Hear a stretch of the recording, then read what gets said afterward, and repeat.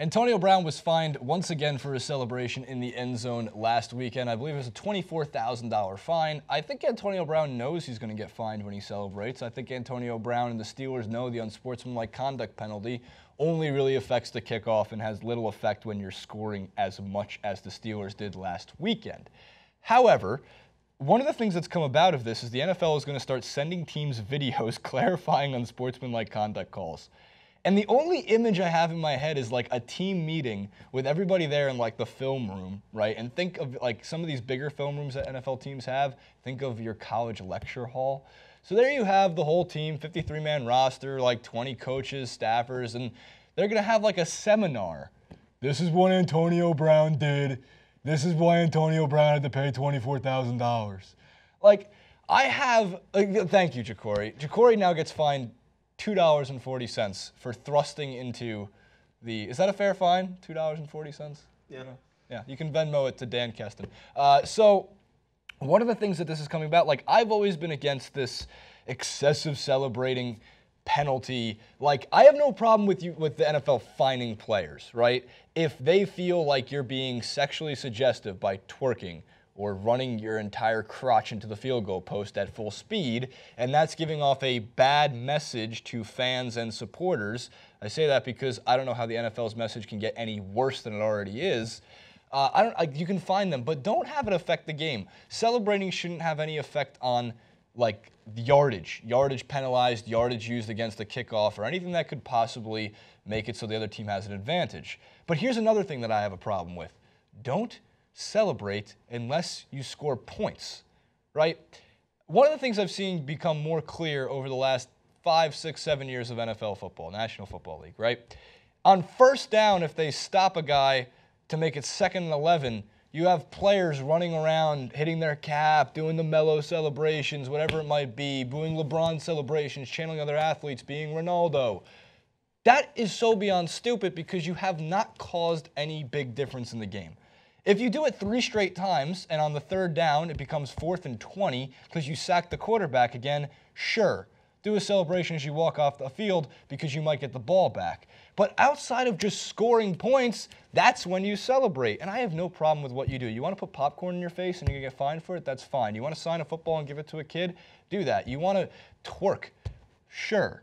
Like, don't be jealous that Antonio Brown is better at twerking than everybody else in the NFL. Keep him out of the end zone if you don't want to get celebrated on. Some of the other things is Mike Tomlin, coach of the Pittsburgh Steelers, feels that the NFL needs to provide clarity on unsportsmanlike conduct penalties. I do the same voice for everybody, by the way. I just don't like reading it in my voice, so I just, here we go again. We have to get some clarity in terms of what's legal and what's not, said Tomlin at his weekly press conference Tuesday via ESPN. I know he doesn't want it to be a negative thing. He wants to provide positive energy for us to entertain our fans. We have to get detailed clarity on what he can and cannot do. You've got to acknowledge that some guys are followed more closely than others. You got to, you saw that last night with Odell Beckham. AB is probably one of those guys, and he probably needs to respond accordingly. Brown's celebration appeared to be breaking the sexually aggressive, sexually suggestive aspect of the rule. So like, I just, I would really love to see like a boardroom of people. Again, I've said this before. We have, not we, the NFL feels like it's okay to put together a boardroom of like eight different coaches, play like uh, ex players, and they decide on what a catch is, but we don't know what is sexually suggestive. Yeah, a twerk seems a little bit sexually suggestive. Find the guy. He obviously doesn't care. If he cared, he'd stop celebrating the way he does. My other favorite one was things so, real quick. Hit me. All right, first things first. Mike Tomlin is like one of the more articulate, like well-spoken coaches in the league. No, I to, speak- to no. get make him sound like the kid that gets called on in class. Then I- like, God I- damn it, I- reading no, no, again. I'm even. I'm that's- fair. No, I I, know, speak I the know. same. Yeah, but like Mike Tomlin, if any one person deserves like an actual respectable voice, You know it's Mike Tomlin. All right, moving on. You're right.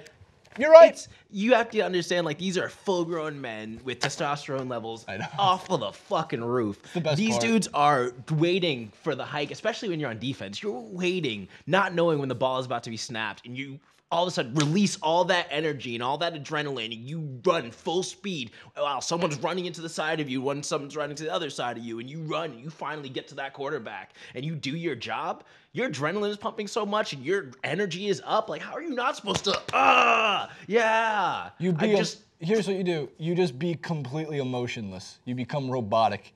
You get the sack and you're like, good job. You become Tim Duncan. I literally do not trust the NFL player that makes a sack running full speed and then just stands up. and is like, Right. How terrifying would that be, though? Think about the mental advantage you'd have. Like, like if you just stand and he doesn't say a thing, he would be like the Kawhi Leonard, Tim Duncan model. They don't celebrate. What's that, Griffin? Psychopath. They become like a psychopath. I, I literally they- wouldn't trust that guy within 300 feet of a preschool. But that's Like, what. oh, except then you see the preschoolers like twerking because Antonio. They saw Antonio Brown, but Antonio Brown did it. See the preschoolers talk like Mike Tomlin. You know. Another thing too is like I don't understand why the NFL is kind of like tripping about this because the NFL is what there's 130 man roster per t- 32 teams in the NFL. You have enough players to villainize. You have enough players to make the heroes. You have enough players to make the spokesperson. You have enough players to make the villains. You have enough. Like you don't need every player to be an upstanding citizen. And again, like I always talk about, kind of like the pedestal you put mm-hmm. athletes on. Hey, every profession in the world, there are just going to be shitty people in it Yeah. professional athletes, one of them, and some of them, yeah, are just shitty people that like to celebrate and rub it in people's faces, and they're immature and they're, ah, you know, let them do it. You know, they'll they won't be the spokesperson. They won't be the one that gets the the sponsorship from Nike. Fine, cool. Let the clean cut Tom Brady, the greatest quarterback of all time, get the Under Armour sponsorships, get the UGG sponsorships. You know, there there are plenty out there to get the sponsorships if What was that between. Tom Brady and sponsorship? I missed that really quick. Uh, the greatest quarterback of all time, the goat for short. Good. Okay. Gre- I just, want, I, want, greatest- I just wanted to make sure your mic. Oh, what a shame! Asher just lost her job. Um. It was nice knowing you, Asher. You have a great name, Asher Roth. Asher. Is there other famous Ashers? No. I actually had a Chiron ready for this moment. Ash. Oh. Wow. Yeah. Yeah. I like that one. Look, Edwin's even laughing. Edwin's awake. I always know the clip is good when Edwin's awake. right? Oh, yeah, right. You know when we talk about soccer, you're like.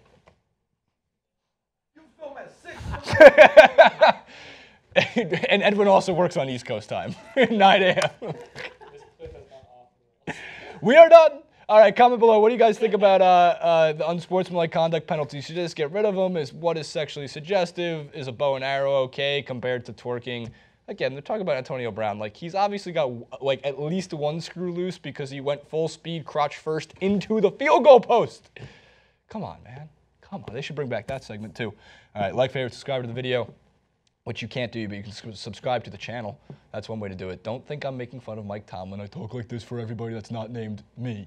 Francis, Francis, like Francis in Scotland. I talked to Francis yesterday in on FaceTime. Everyone thought we had separation anxiety, and my version of how Francis was speaking was Scotland's very, very good. Glasgow's nice. It's rainy. There you go. We'll see you next time.